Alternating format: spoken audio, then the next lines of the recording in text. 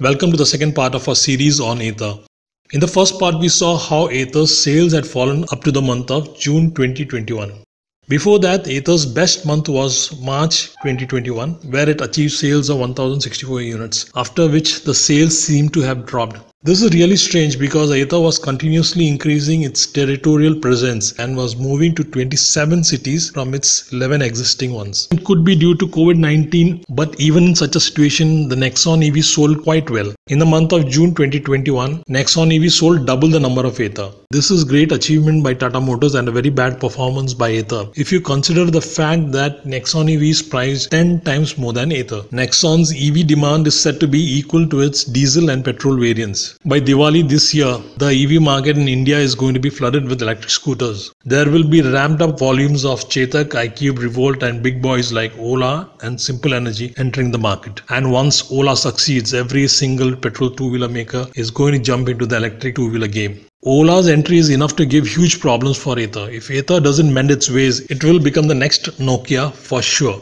Ola's capacity is so huge that in another 2 to 3 years, Ola could take over the entire Indian scooter market. Hero MotoCorp has also announced its electric vehicle to be launched in the year 2022. Hero MotoCorp has plans to launch the Gogoro scooter in India. The next 3 year will be crucial for Ather. It was expecting to see profits by the end of 2022. If Ola had not launched, it might have hit that number sooner or later. But now things have changed and the next 5 years will be very tough for Ather if it doesn't mend its ways. When Ather entered the electric scooter market, it was in a unique position. It had three distinct advantages. Most of the scooters in the market were rebranded Chinese scooters. These Chinese scooters did not have, first of all, good quality. Ather was the first electric scooter which had good quality of make and finish. Second, Ather had mid-drive motor. Ather was the only mid-drive scooter available in the market. Mid-drive have much higher torque advantages over hub motors.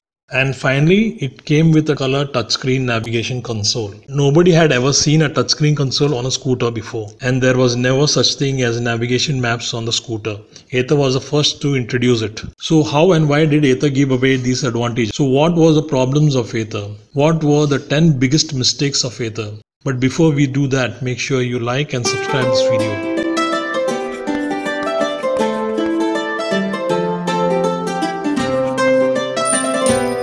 So what was the problem with Ather? The biggest enemy of Ather was Ather itself. During this 5 year zero competition period, Ather was busy creating hurdles for itself. Ather management was making so many decisions that was making more and more difficult for people to buy the vehicle. There must have been no company in history to have made so many bad decisions. Maybe it was due to the lack of experience, maybe it could be the overactive management, or maybe it could have been done on purpose by the investors from ICE background who themselves are rivals to Ather. Maybe it was their plan to delay Ather sales. The reason could be many, but some of the bad decisions taken by Ather are in no particular order. Number 1. Fixed battery. A fixed battery scooter has very little advantages over removable battery scooter. Ather scooter is good for people living only on the ground floor. People living on the first floor and above in buildings will always have problem getting the charger installed. Technically you can install the charger but practically you cannot. Ather will tell you that all you have to do is convince the building management to give you permission to install an Ather charger in your parking spot. That is if you have a permanent parking spot. As per the government rules also this is correct and they should allow you. But one, it is not very practical. Many buildings in Mumbai are not allowing even Airtel fiber and Reliance Jio fiber to be installed, and Ather will not have it any easier. Convincing the people who manage the society to allow charging points is not going to be easy because some of the management committee people are very corrupt and expect bribe from companies. Putting nails on the external surface of the building could expose the building to rain and reduce its life. People in rented apartments will have an uphill task of convincing the owners and then getting the owner to convince the society management people. It is not practical for every two-wheeler owner in the building to get its own charging spot. Imagine how many electric cables have to be pulled from the electricity meter room. That is another problem all by itself. If there is a fault in the battery, the whole scooter needs to be carried in a truck for repairs and it could take weeks. Then you are without vehicle on those days. With a fixed battery, with a non-detachable battery, there is no option to swap the batteries. Removable batteries have the advantages of traveling double the distance with the extra battery, meaning a 80 km scooter can travel 160 km with an extra battery, and a 120 km iPraise and Revolt can travel 240 km with an extra battery pack. That is a huge benefit. Scooter renting and taxi business prefer swappable batteries. There are at least 14 advantages of a detachable battery than a non-detachable battery scooter. We have tried to explain it in detail in the previous video. You can find the link in the i button on top right hand corner or in the description box below. Having a detachable battery pack solves all these problems. Electric scooter makers should not think about having a fixed battery. If they do, it will be bad for them. Number 2. Lowest range for a 1 lakh plus scooter. Ather has achieved no special advantages with its fixed battery. In spite of having a fixed battery, the range of Ather is one of the lowest in the market. Both Revolt and Okinawa with removable battery are able to provide 60% more range than Ather scooters. The cornering might be tight, but the range is low. This would have been okay had this been a rupees 75,000 scooter, but unfortunately this scooter is much above the 100,000 mark. The cost of lithium battery has fallen a lot since Ather began. The government also is giving good subsidies, but Ather has been pushing the price of the scooter higher every year. As of now, only two companies, Okinawa and Revolt, are giving a mileage above 120 kilometers. Pure EV is the only company below the 1 lakh mark that is offering a mileage above 100 kilometers. Ather's real world riding range of below 85 kilometers is unacceptable for a scooter that has a sticker price of rupees 1 lakh 70,000. Range should have been a matter of great concern for Ather, but unfortunately Ather refuses to address this problem. Number 3 Very high price.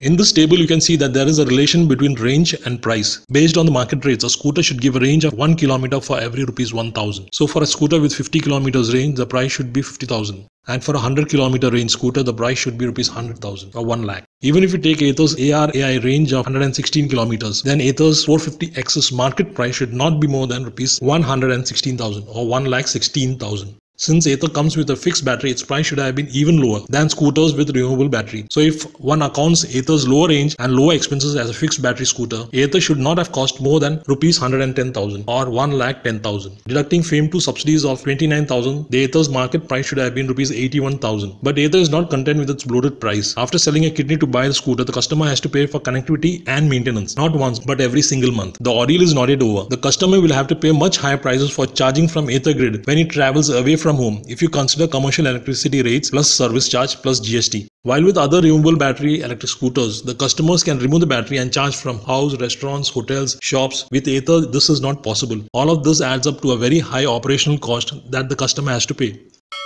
Number 4 no slow speed vehicle. Slow speed vehicles are the biggest market in Indian EV industry. Ather has decided to stay away from it. Hero Electric and Okinawa sells a lot of slow speed electric scooters and there are many other Chinese e-scooter vendors. According to Autocar India, last year 2020, India had sales of 1,52,000 electric two-wheelers and 90% of them were in the slow speed category.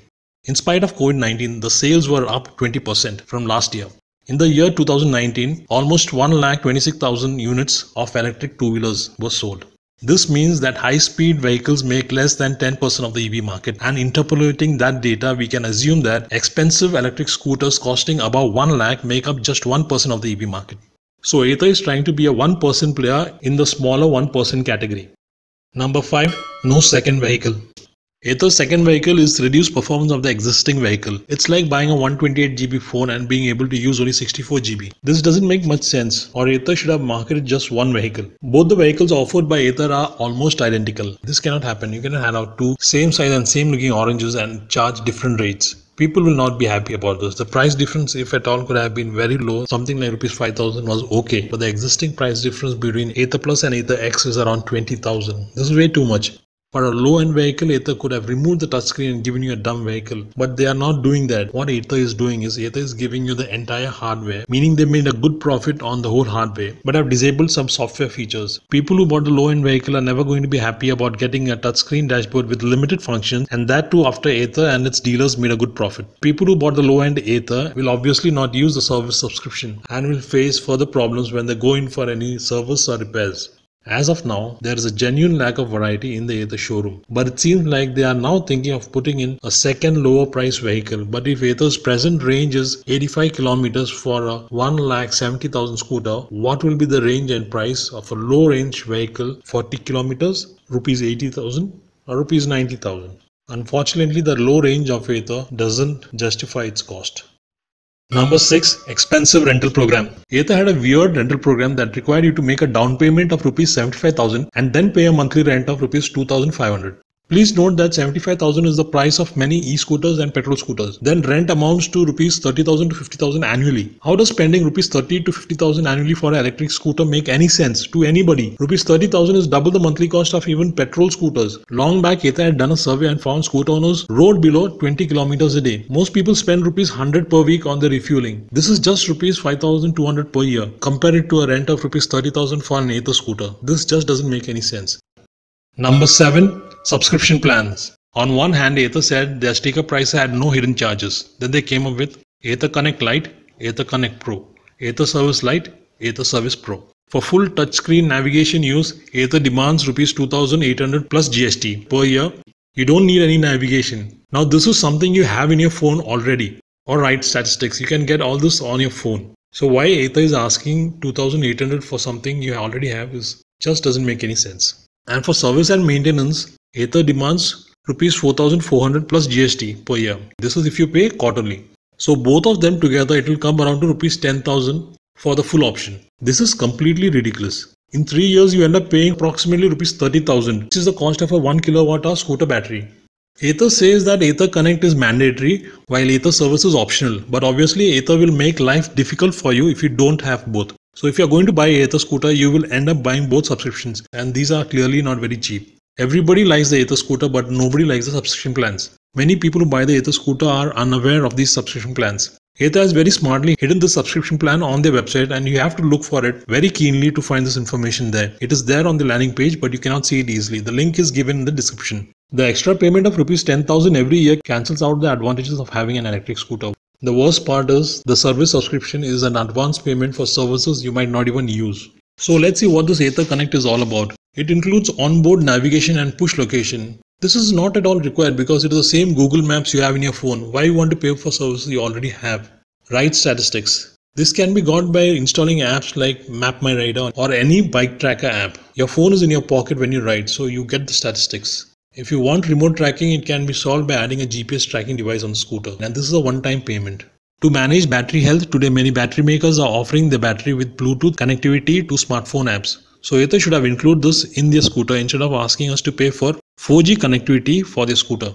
Remote charging is a good feature, but there is no pressing need to have this feature. If you want to switch off the vehicle, then you can always go to the vehicle and switch it off. This will be a slow charge anyway, and you can take your time. If the charging point is near your house within Wi-Fi range, then we can use Alexa type Wi-Fi smart plug sockets. All these services can be done with a one-time payment, unlike Ather subscription which is lifelong.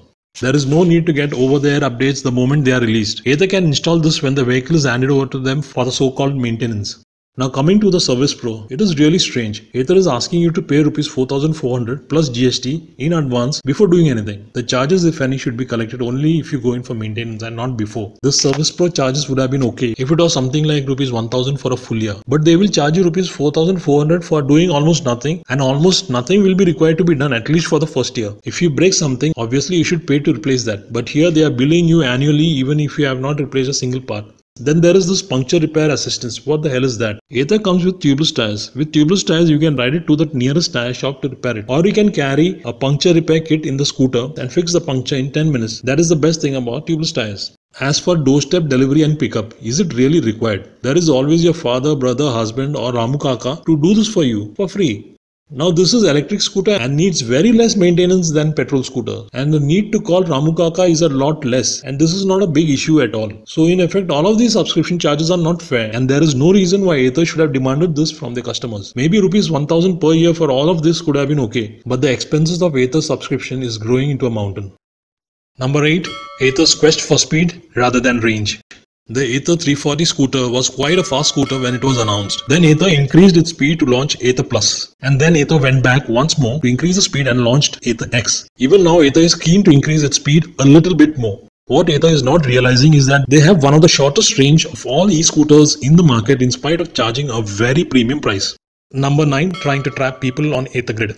Once Ather customers are on the move, they have no option other than charging from Ather points, even for slow charging. With other electric scooters, people have the option to charge it from their hotel rooms or from nearby houses, shops, or restaurants. This is not possible with Ather. Moreover, Ather Scooter and Grid is incompatible with industry standard CCS fast chargers. Ather has cunningly designed its fast charger connector in a different manner so that its customers will not be able to fast charge from any other charging station other than Ather's. Thus, Ather's customers will not be able to fast charge their scooters on government or third party fast charging networks. They can charge on other networks only via slow charging. They cannot do fast charging. Similarly, other electric scooter owners will not be able to fast charge from Ather They will only be able to slow charge from Ather If this trend continues, it will impact the e-scooter market negatively and in that the loser will be the customer. We'll have CCS compatible charging ports. CCS charger is becoming the industry standard if you consider the whole of Europe and India. Ather had recently invited the Indian companies to use Ather's connector and software, which is not a correct thing to do at all. Number 10. Targeting the wrong crowd.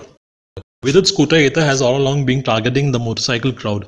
Ather is targeting the KTM, Enfield and Avenger crowd to buy its electric scooter. This will not work, at least not in a big way. So finally, let us summarize the 10 big mistakes that Ather made since its launch as fixed battery, lowest range in the rupees 1 lakh scooter category, very high price, no low speed vehicle, no second vehicle, expensive rental program, subscription plans, Ather's quest for speed than range, trying to trap people on Ather grid and targeting the wrong crowd. If Ather doesn't fix these 10 mistakes, the launch of Ola will impact Ather sales the most because other e-scooters in the market have detachable battery and they will be affected the least. Our next video will be about what Ather can do to rectify its mistakes. Please share this video as much as possible so that it reaches the Ather scooter makers Tarun and Swapnil and hope they can take corrective actions this year itself. Bye guys, thank you for watching. Talk to you soon in another video.